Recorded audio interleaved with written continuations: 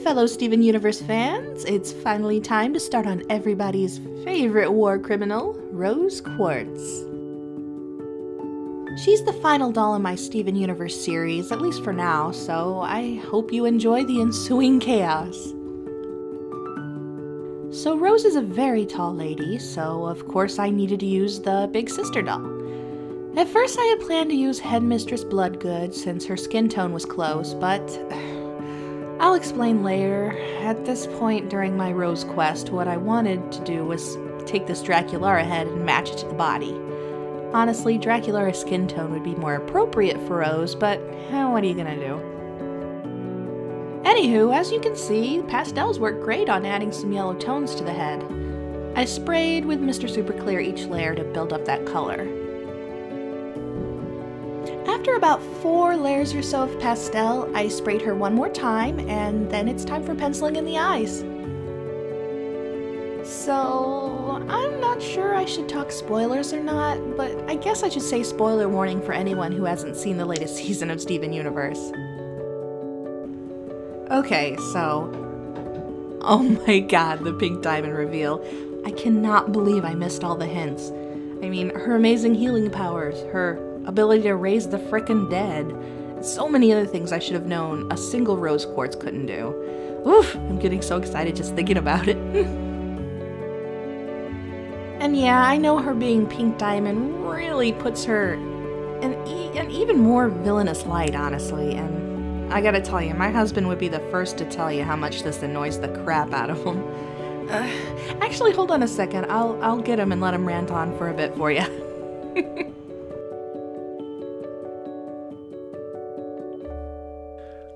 uh, hi, this is um, Fred, uh, Candy's husband. Um, she has asked me to sit here uh, while she uh, is sculpting her next uh, model to talk about my feelings on. I can get into spoilers and stuff. Yeah, you can. Uh, my feelings on the reveal in the uh, most recent Steven Bomb um, that uh, Steven is in fact that that Rose Quartz, who is Steven, uh, is in fact Pink Diamond, and I uh, I have thoughts uh, on this particular. I mean, it's a twist that everyone kind of saw coming, right?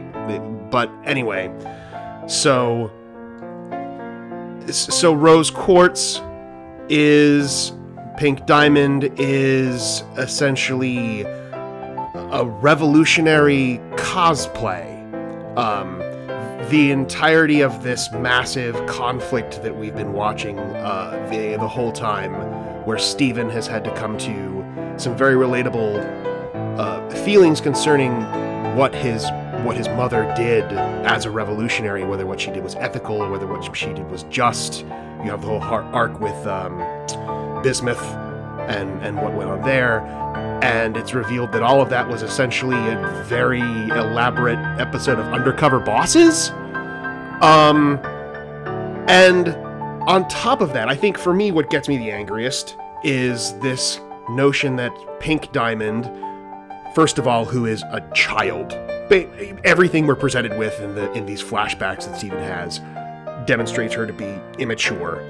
Um, that that's fine. You can have a, one of these diamonds who's maturing, and you get to experience that. Anyway, but Pink Diamond uses her. Pearl essentially is Pink Diamond's handmaiden, so she's already a subservient character, and Pink Diamond uses her ability. There's aliens; they're not magical creatures uses her hierarchical ability to silence Pearl about everything that about the big secret. She literally physically is incapable of talking about the big secret.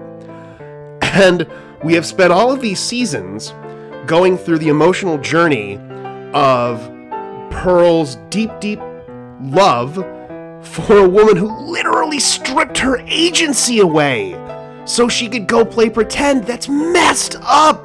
that is a really messed up emotional dynamic and um on top of that or i guess getting to the core of that all of this sums up to the fact that pink diamond when everything went out of control and and uh, the gem war the homeworld war whatever it's called i forget what that whole conflict is called um she doesn't actually come forward. Like when it's clearly getting out of hand, she doesn't go, wait, wait, wait, wait, time out. No, it was actually me. Haha. Surprise. No, she just rides it out. She she rides it out until she's literally not a person anymore, until she becomes Steven. So she avoids any responsibility for all these gems who get uh, I think some of them do get shattered, right? Yeah. Some gems so yeah, there's actual like Right, there's the the whole issue with the cluster and all of these other gems who who are kind of condemned to being uh, mind shards. Like they're literally their psyches are destroyed. Uh, White Diamond becoming actually all of the the big tall, with the exception of blue, like yellow and white uh, becoming tyrants, and all of the the horrible stuff that happens on Homeworld. All of it because Pink Diamond wanted to play pretend and then it got real and she was just like oh no i think i can dodge responsibility completely on this um and she probably could have saved earth if she was just kind of like haha just kidding. I mean let's fair. let's not go into the fact that gems as like the creatures that are gems are not uh cool alien you know cool alien babes from beyond the stars. They're they're reapers. Like everything you watch in the show they're creatures that go to planets with organic life and just and just like strip all of the life energy out of it to perpetuate themselves it's not surprising that they use virus imageries in their their replicating their kindergarten uh, replicator things. Um, but yeah, so so it's just all of that's aside, the whole personal dynamic of Pink Diamond skating across the finish line, not not having to face any of the consequences for anything that she did as Rose Quartz, and essentially, even if unknowingly, foisting all of that on Steven. And I mean, I have my own issues with Steven towards the end. I don't know if you're going to get into that. No, this video's only gonna be like 15 minutes long. Okay. Yeah, yeah, yeah. yeah. Uh, it's it's it's called social justice. It's not called social forgiveness. Uh, the, the the diamonds don't just get to bring everyone back and go, ha, uh, no harm, no foul, right? Um, anyway.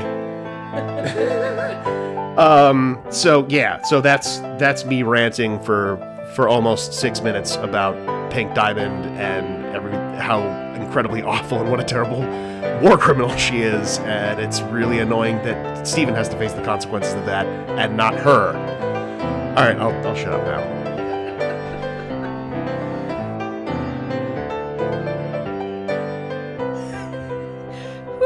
Okay. I think Fred feels a lot better getting all of that out of his system. Sorry about the tangent. I just felt Fred could articulate things a little bit better than I. And look at that, the face up is done.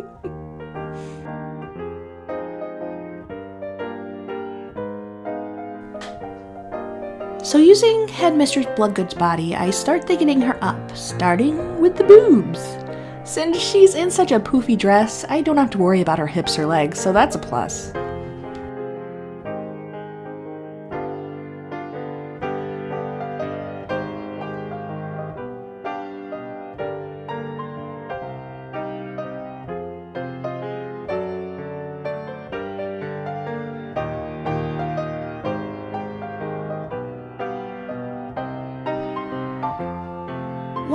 For all that to dry, I get to work on dyeing her hair. I'm using Manic Panic and cotton candy. Fortunately, I have a bunch of white alpaca begging for some color.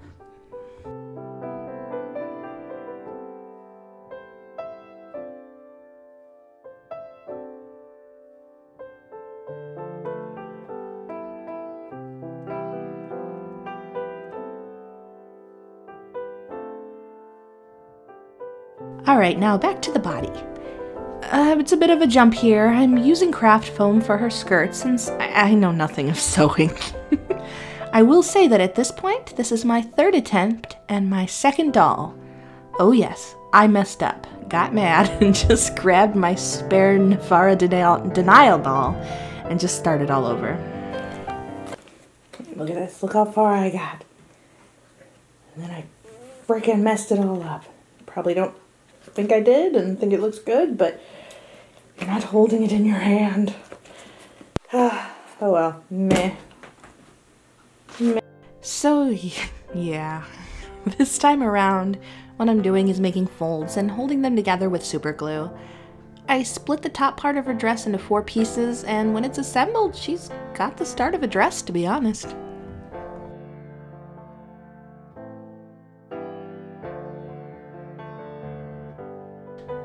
Oh, I should point out that I sanded down the epoxy once it dried and used an X-Acto to carve out that star shape. I think in my rage, I forgot to record that part because I cannot find it anywhere.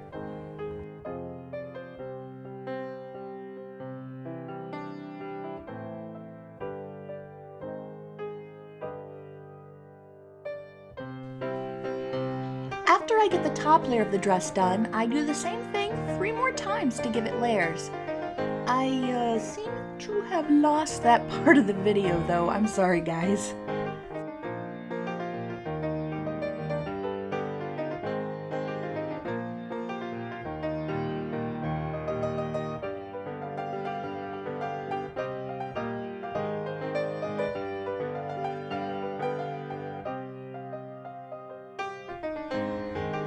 It's at this point I start lightening her skin using a mix of paint and pastels on the joints.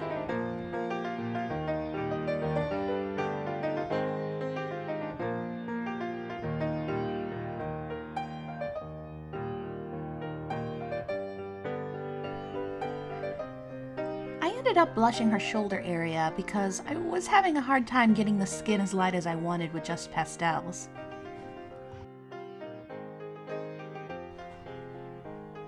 I use pretty much all of my white paint to start her massive dress. Seriously, I need to own a big tube of white paint in the future because damn, I needed a lot of paint for this.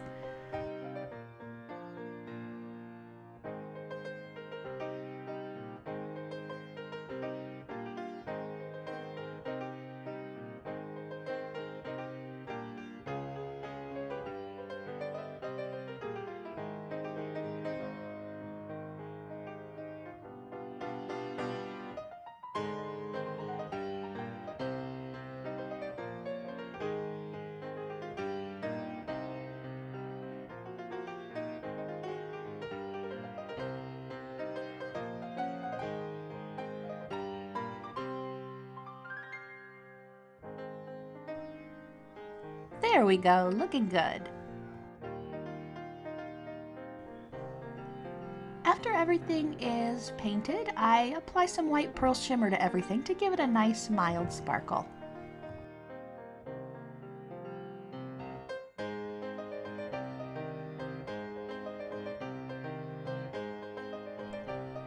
And once that's all done, I cover it all in Duraclear matte varnish to keep it from sticking, and then it's finally time for her gem.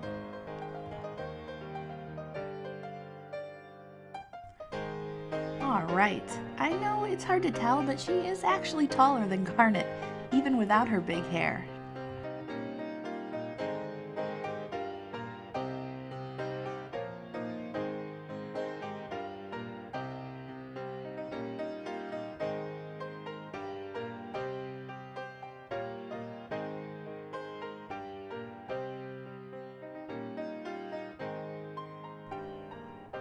Alright, as for the hair, here we go.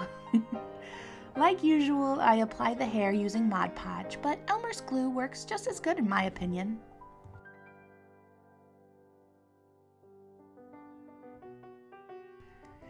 Get ready guys for a really ugly looking process, uh, but I promise the end result will look nice.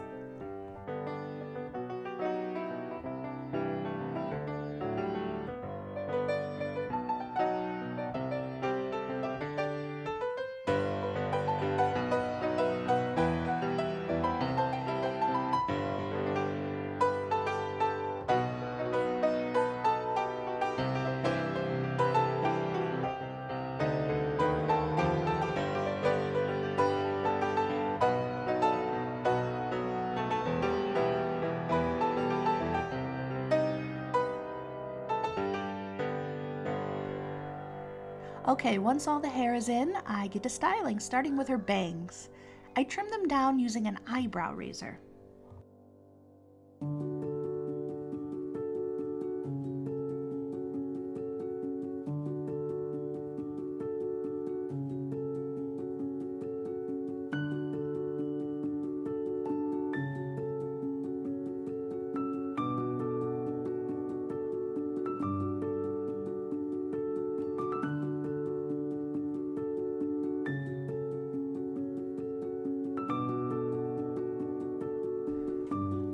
Time for her curls. This ended up being more of a challenge than I thought. I really wanted her front curls as tight as can be. Unfortunately, unlike synthetic hair, alpaca is a natural fiber, so the curls would loosen in time. In the end, what I did was take a thin strand of her hair and using a needle, I slide it through the middle of the curl. And then I tied it in a tight knot, and that surprisingly worked to keep the curls tight.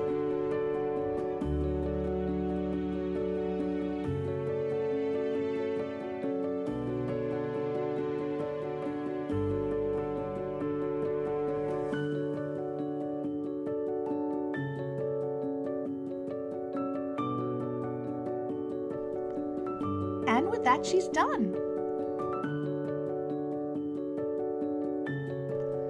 Oh, what a fun project. I really enjoyed making these girls.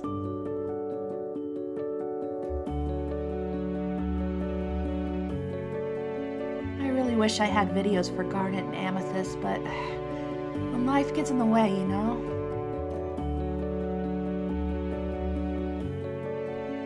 Anyway, I hope you guys enjoyed this video, and if you haven't yet, please like and subscribe, and I will see you all next time.